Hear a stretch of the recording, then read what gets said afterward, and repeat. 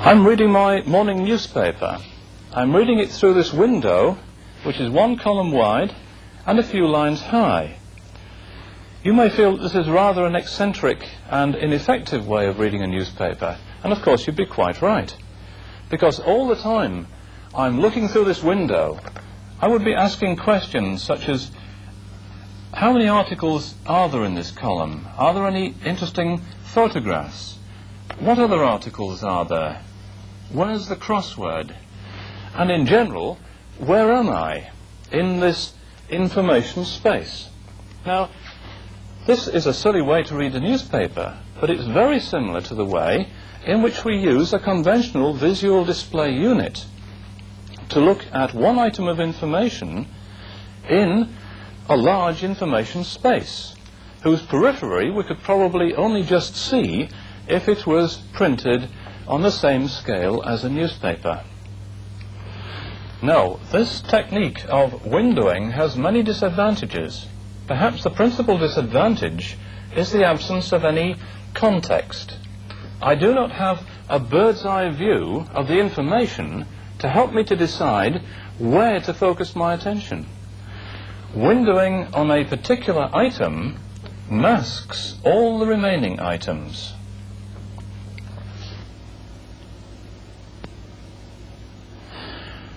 There is a way of overcoming this windowing problem with its associated effect of masking.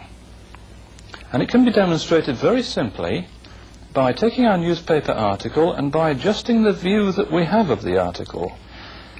In this way I can focus in some detail in the central region, but at the same time be aware in the peripheral regions of salient features such as headings and photographs and cartoons.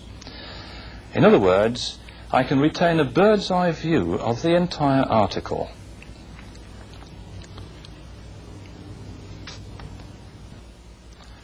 Let's apply this idea to my in-tray, an information space which is quite varied and often full of surprises. Here's a simple example in which I've used colour to indicate some property of an item. Red indicates an urgent item. The yellow one is from my secretary. And telexes are always orange.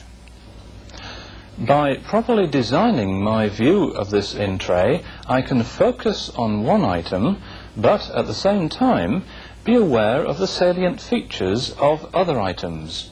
The colour of each item, for example, is clearly visible in the outer regions. Thus, while perusing the contents of my in tray, I always retain a bird's eye view of the entire contents.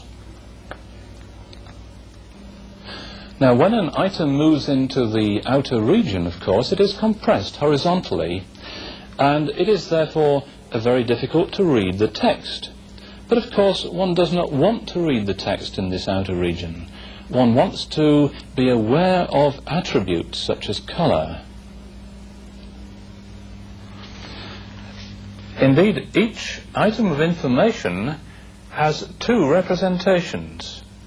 One, which is appropriate to the central region of the display and which we can read, that's a high resolution image, and another, low resolution image, which is appropriate to the outer regions, and where we only need to recognize perhaps a color and a letter.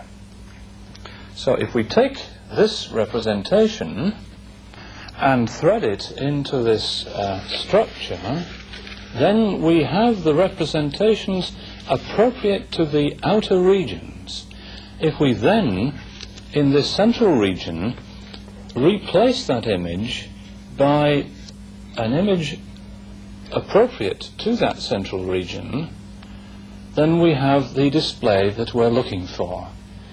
We can read that single item in the central region, but we are still aware of other items that are available in my in tray. This manner of representing information is called the bifocal display because it has got two regions uh, having different resolutions. the central region with high resolution and the outer regions with low resolution. And we can focus on a particular item of interest while still retaining a bird's eye view of the entire in tray.